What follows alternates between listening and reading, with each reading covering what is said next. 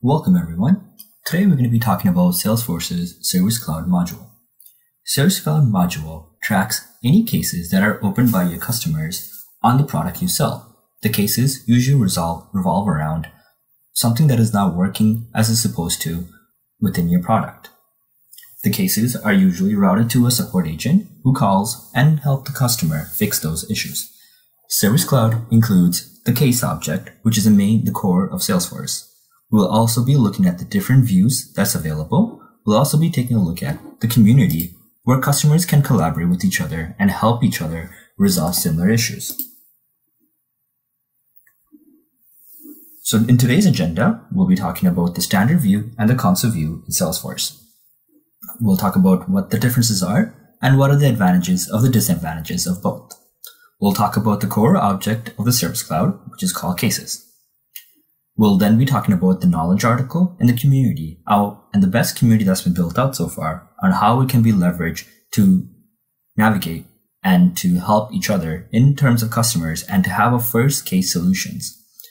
We'll also be talking about service features, some of the out of box features that's available with Salesforce. So the standard view and the console view.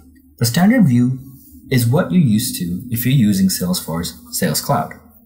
And then the console view is available for Sales Cloud as well. However, the console view is a lot more user-friendly when it comes to Service Cloud. You're able to open multiple tabs within the tab itself, and you're able to see a lot more information within itself. So what we're going to do is we're going to go to our Salesforce instance, and we're going to first look at the regular Service Cloud view. So I'm opening up my Service app. As you can see, it's very similar to your sales apps. You have your object tabs at the top, and you have your case tabs here available. So if I was to open a case, I'll open it here.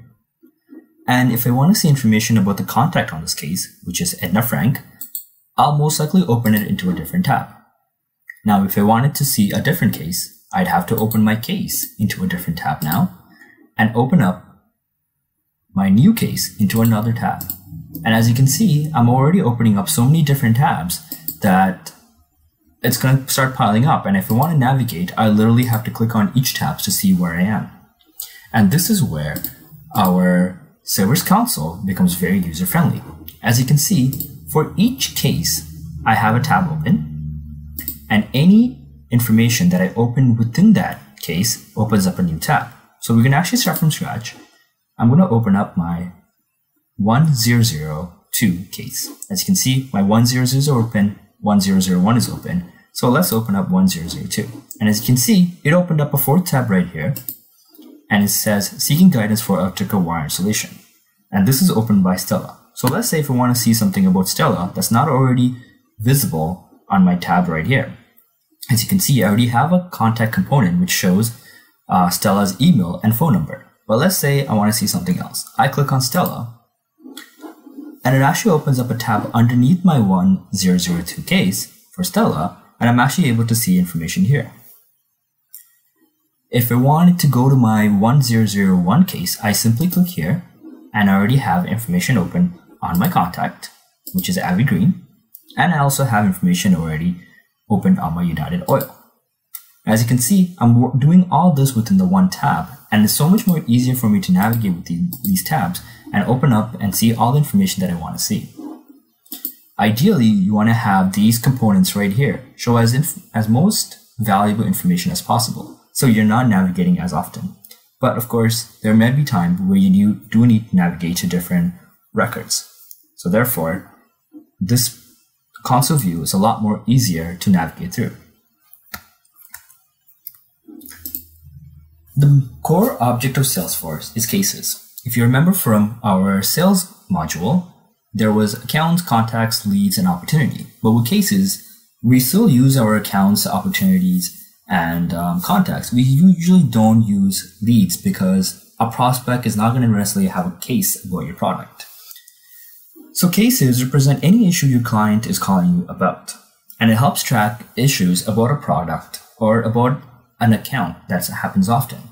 This way, we can see if a product needs an upgrade, or if you need to discontinue a product, or if an account maybe needs an implementation manager or an expert to kind of go in and help. So there might be some um, upsell opportunities as well.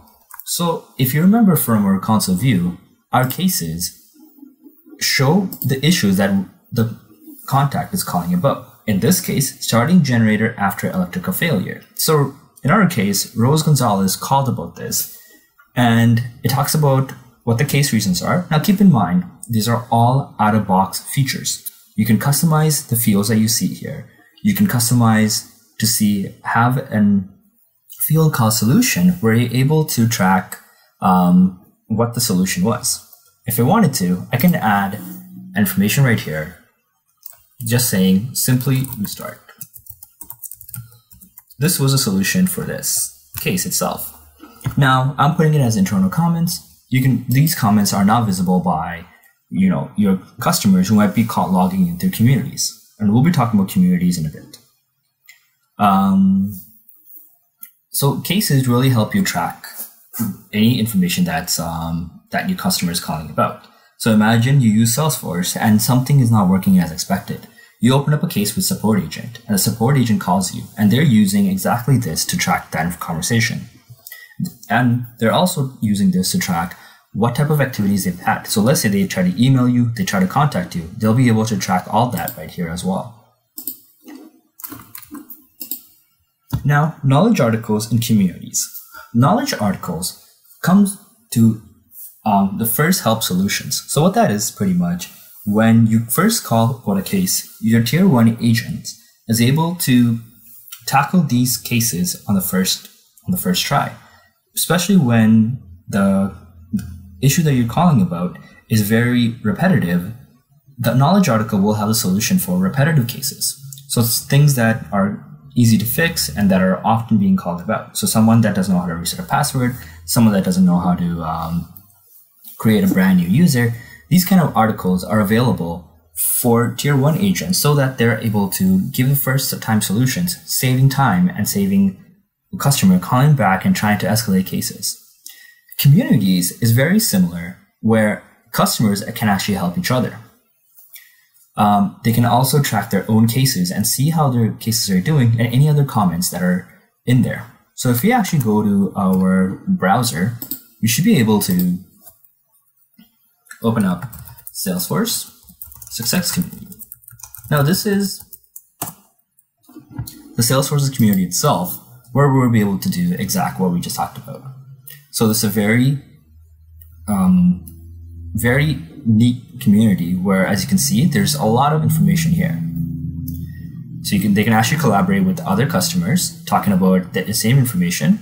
Um, they can also ask about tickets right here. So right here, we're talking about David. David is has actually put in a uh, question right here and Prasant has actually been able to answer that question. And David David has actually shows this the best answer so that let's say if I have the same exact issue, I'm able to come here and know this is a solution right away. And you can look at unanswered questions, you can look at unsolved questions, and you can even collaborate with them. You can also search here. And when you search, right here, how to add how to add a new user. And as you can see, Nidhi Sani asked the same thing. And we're able to see that Mayank was able to give the best answer. So you can actually read the article to see, okay, it says how to add a new user and then marketing license. And so we're able to see that everyone tried to answer that question, and here's a solution right here. So this is the community where you're able to collaborate for cases, as well as you can actually collaborate. Oh, we need to log in for that. You can actually collaborate with ideas. So something, a feature that is not available in Salesforce, you can actually put that idea right here and hope that it gets most votes. And when it has enough votes, it'll actually go under what's called product team review. This means that Salesforce is actually able to um, implement this feature or they're looking at it. And you can see this one, it's not at that threshold where the product team will actually um, review this feature itself. So Salesforce actually allows you to create your own community. So if you actually go to your community or your sandbox, you will actually have the option to create your community. So I actually have my community open right here. It's a very basic, it's not as um, amazing as a Salesforce community, of course. It's very basic where I'm able to create cases quickly.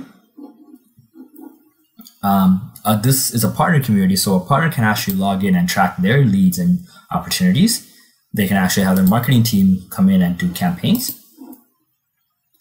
You can also have uh, news and updates. So if you have chatter uh, available, you can actually put information about something that's happening in your community, in your company, and any updates that's coming. So if you're having maybe a new product release or update, you can have that under the news and information. Um, these are again, because a part of partner community, I'm able to track my opportunity here as well.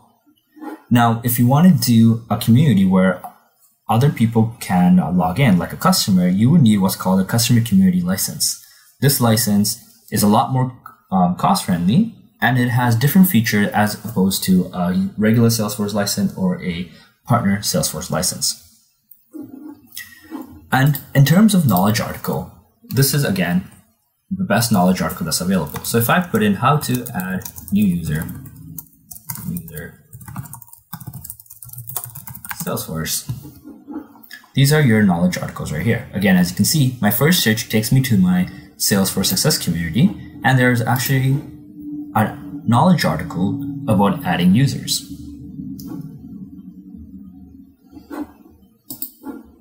And right here, they, the way that they have it set up, they actually talk about where, where it's available, what permission is needed, and it actually talks about the steps that you need in order to add a brand new user. Now you would have to build all this out in your Salesforce community in order to get these features working. Lastly, here are some of the uh, features that comes out of Salesforce. Case assignment rules, web to case, email to case, and news.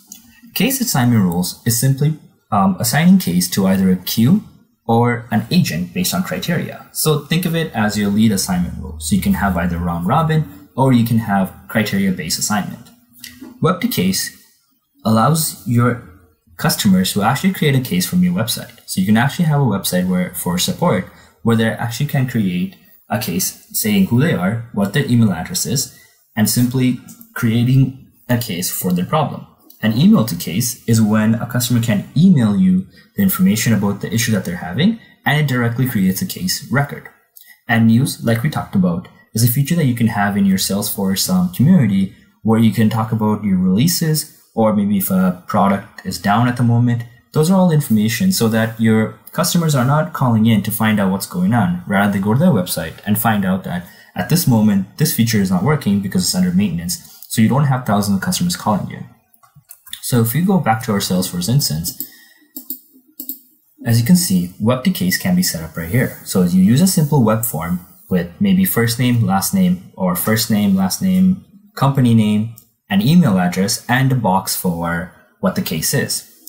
That will create a case from the website to your Salesforce org. You will simply need to add the HTML code that you will get once you set this up to your website. You can also do email to case, where you, if you have your Outlook or your Gmail synced to Salesforce, a customer can easily set that email, and from there, you can create the case rather than copying and pasting information. And lastly, case assignment rules is also available here. Case assignment rules talks about, again, automatically assigning cases to users or queues based on the criteria that we define there's a standard case assignment rules that's built out of the box, and it's pretty much going by countries and your SLA. So SLAs are service level agreements and who it should be going to. Of course, all these are going to be assigned to one person because in the sandbox, there's only one person available. You can also create a case auto response, and this is usually for when a case is created, you can send out an email saying, hey, this case has been created and we're looking into it. If you ever create a case with Salesforce support, you would see this feature uh, where you get an email saying, hey, this case has been looked at. And you will also get a comment when somebody is actually looking into a case. So these are some of the features that's out of the box that we can set up so that your daily creation of cases and your, how you handle them is a lot more easier.